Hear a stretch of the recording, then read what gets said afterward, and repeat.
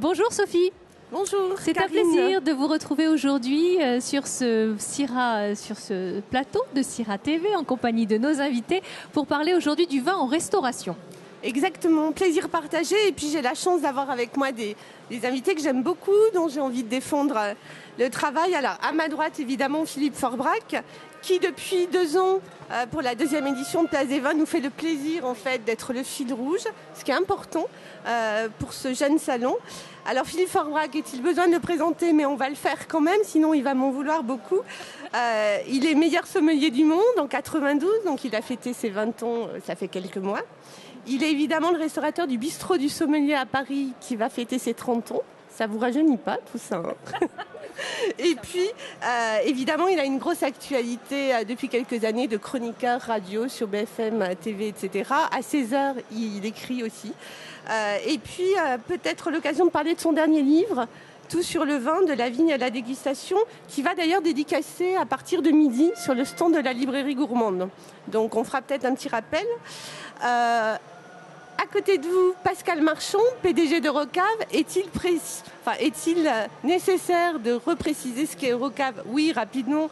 Rocave, c'est le fabricant de tout le matériel euh, de conservation et de service du vin au verre et c'est une société 100% fabrication française, la seule d'ailleurs, donc ça mérite d'être souligné et qui a un rayonnement international puisque 80% du chiffre d'affaires de Rocave se fait à l'export. Voilà.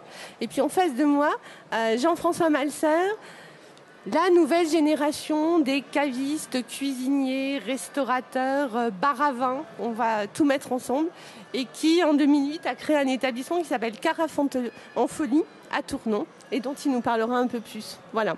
Alors le thème de cette table ronde, on avait peu de temps, donc ça a été difficile, surtout qu'ils sont tous très bavards. Alors je me suis inspirée de Philippe en lui disant euh, Vous aimeriez qu'on parle de quoi? Il me dit Le sujet est vaste et j'aimerais bien qu'on parle du poids économique du vin dans la restauration. Et notamment parce que ça fait un an, il a écrit un article un peu provocateur qui apparemment a fait couler beaucoup d'encre.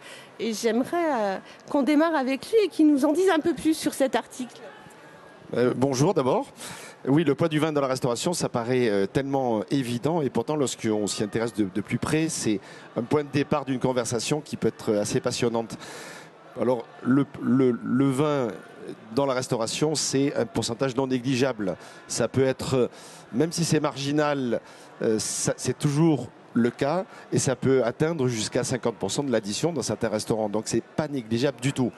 Et non seulement ça peut atteindre ces pourcentages-là, mais en plus, quand on étudie de plus près, il y a plusieurs impacts. D'abord, vous savez qu'en termes de TVA, ça rapporte pas mal à l'État, puisque c'est de la TVA à 19,6, alors que le reste de la restauration, euh, la partie euh, solide notamment, ou les softs non alcoolisés, c'est de la TVA à 7, alors que c'est 19,6. Et deuxièmement, et surtout, j'allais dire, c'est quand même là-dessus que la plupart des restaurants font réellement leur marge parce que c'est beaucoup plus facile à gérer. Euh, une bouteille, on l'achète, on la revend. Même si on vend au verre, grâce au système de conservation euh, développé notamment par Eurocave, on arrive à minimiser le, coût de la, perte.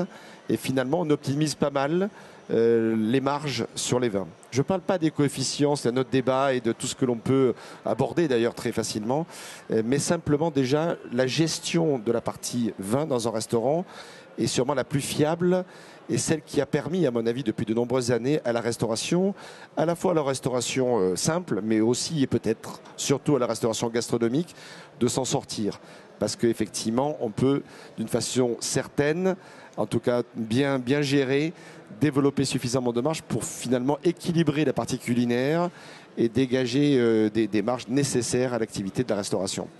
Donc un peu comme une provocation, effectivement, j'ai que le vin, quelque part, ces dernières années, a sauvé économiquement parlant la gastronomie et la restauration française, et j'en suis euh, persuadé euh, pour beaucoup. Alors moi, j'aurais tendance à aller plus loin et en disant que c'est non seulement le vin qui euh, finance la restauration, mais moi je dirais qu'aujourd'hui, je vais être aussi un peu provocatrice, je pense qu'il n'y aura pas d'avenir pour la restauration s'il n'y a pas un très gros travail fait sur le vin. À savoir, est-ce que le vin va pas être l'avenir d'une nouvelle forme de restauration? Et du coup, j'ai envie de donner la, parole à, Jean-François. Oui, bah, bonjour. Euh, tout simplement, on parlait de coefficients, on parle de, de, vin qui peut être pris comme, comme la vache à lait euh, en restauration pour apporter de l'argent. Et aujourd'hui, dans, mon établissement, euh, en réalisant des coefficients situés entre, entre 2 et 3, que je trouve plutôt raisonnables, euh, on peut s'en sortir. Alors, ça demande des choses très importantes en termes de gestion et demander au chef de compter et de savoir gérer sa cuisine pour arriver à avoir un établissement rentable et euh, pouvoir proposer aux consommateurs lambda, puisque tous les consommateurs ne fréquentent pas des, grands étoilés euh, avec, euh, avec un pouvoir d'achat qui, demande à être assez important. Et aujourd'hui, moi, à travers mon, bistrot, si je peux me permettre de m'exprimer, on arrive à avoir des coefficients plutôt raisonnables et j'arrive à gagner ma vie, à nourrir ma famille et à payer au mieux mon équipe. Euh, et, mon combat à l'heure d'aujourd'hui, c'est de me battre pour, euh, pour rendre accessible le vin à monsieur tout le monde, tout simplement. Et euh, alors, est-ce que, dans ce que vous évoquiez, est-ce que le vin peut, justement, est-ce que vous êtes d'accord avec moi sur, sur le principe de rendre le vin accessible avec des coefficients raisonnables Alors, juste peut-être préciser pour les gens qui ne connaîtraient pas les coefficients habituellement aussi pratiqués en restauration, on est plus souvent autour de 4, 5, hein, pour être très honnête. Donc c'est une nouvelle démarche, ça aussi, Philippe. C'est presque un, parti pris militant aussi. C'est un, parti pris passionné. Bien, bien entendu. C'est un grand débat éternel et on ne va pas conclure aujourd'hui. Il y a deux choses dans vos propos. La première, est-ce que je, souhaite, et je crois que tout le monde est d'accord euh, autour de la table, d'une façon générale, tous les gens qui, qui aiment le vin souhaitent qu'il soit accessible par rapport aux gens. C'est évident. En le mettant en scène, en le conservant correctement, en le mettant en scène au niveau de la restauration, l'accessibilité au verre, la température de service, la verrerie extrêmement importante également.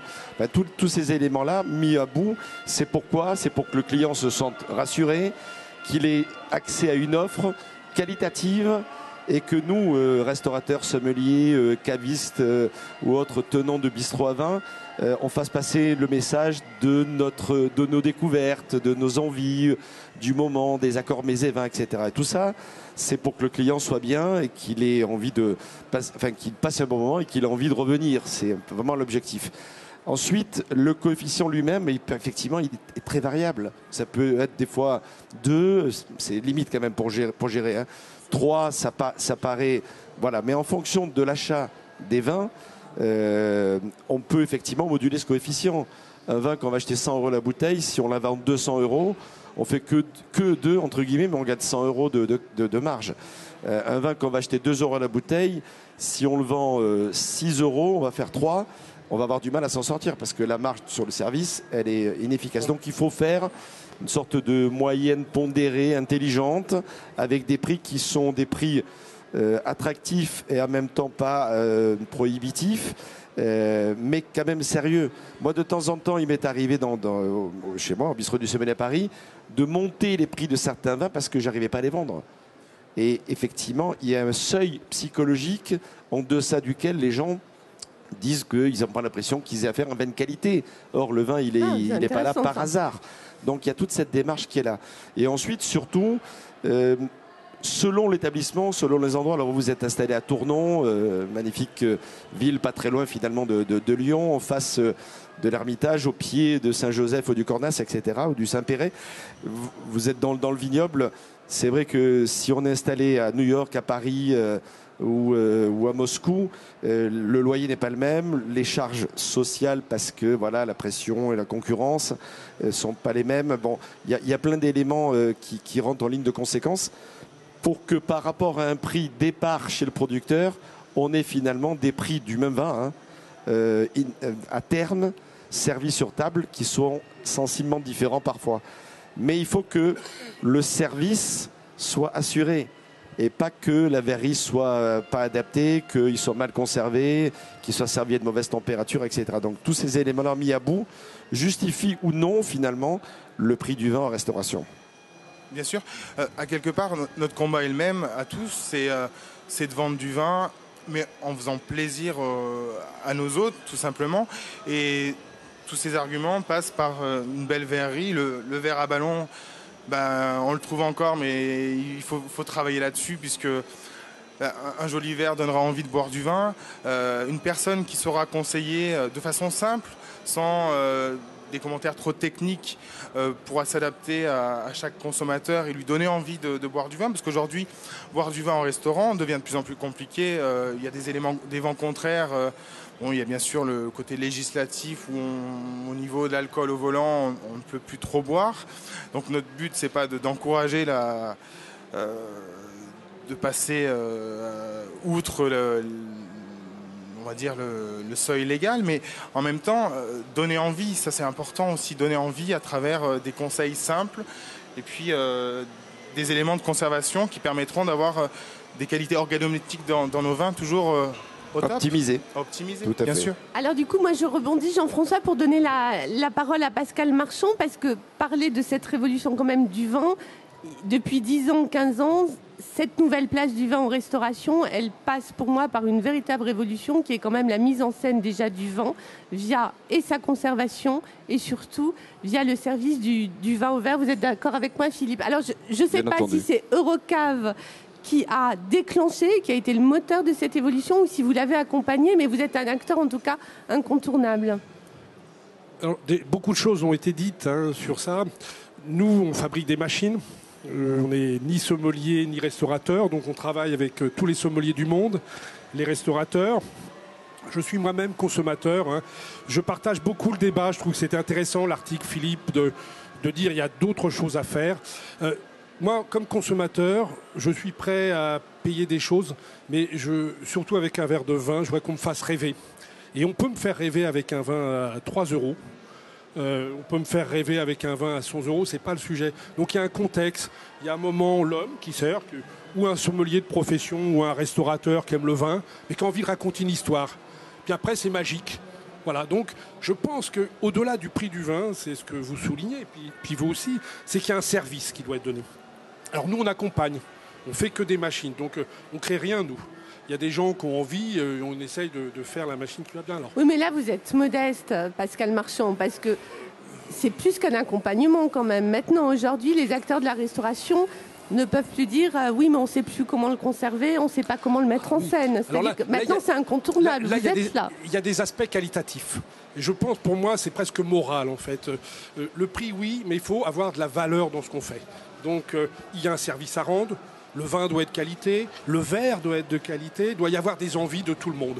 Et là, il n'y a plus de problème de prix. Je pense qu'il y a un levier extraordinaire, il y a des tas de jeunes qui ne connaissent pas le vin, qui, attendent de, ces découvertes à travers vous. Voilà, j'ai un petit vin qui explique, regardez, on est à l'Ermitage, regardez, penchez la tête, on voit, les coteaux, c'est un petit vin rouge, vous avez pris une petite viande, c'est bien. C'est tout votre travail. Et là, il y a un levier énorme en France, dans le monde entier. Et nous, on accompagne. Effectivement, il faut qu'on puisse présenter les produits, il faut qu'on puisse les, conserver, mais après, c'est une affaire d'homme. Le consommateur, il voit la machine, il va voir la machine à travers le, sommelier, à travers le, restaurateur. Donc on aide, on est un illustrateur d'histoire on fait l'image. Mais un élément de décoration aussi. Oui, bien sûr. C'est la technique au service des plaisirs finalement. Mm. Et euh, vous avez raison, l'élément de décoration est important. Voir le produit. C'est la même chose aujourd'hui, on ouvre les cuisines. Bon, et euh, grâce à Eurocave notamment, entre guillemets, on ouvre la cave. C'est-à-dire que quand on arrive dans un endroit et dans un restaurant ou dans l'entrée ou dans un coin de la salle, il y a une armoire vitrée, éclairée intelligemment euh, et qui met en valeur le vin. Euh, ça rassure parce que ça veut dire que les vins sont conservés dans des bonnes conditions. Ça veut dire que s'ils sont conservés dans de bonnes conditions, il y a une démarche vin dans cet établissement-là. C'est-à-dire que la sélection aura été pertinente.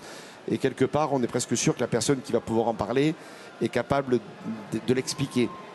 Donc les éléments sont réunis et, euh, euh, notamment les armoires caves sont un des éléments de cette, chaîne nécessaire euh, au plaisir des gens et en tout cas la sécurisation euh, du produit quelque part. Et y compris le plaisir visuel. Mais bien entendu. Ça passe par tous les sens. Le plaisir euh, des yeux et le plaisir du goût. Je vous laisse poursuivre cette conversation juste à côté, hors plateau malheureusement. On va devoir, quant à nous, prendre la direction d'un espace que j'apprécie beaucoup ici sur le Sierra, puisqu'il s'agit d'un espace dédié à la confiserie, au chocolat et aux glaces.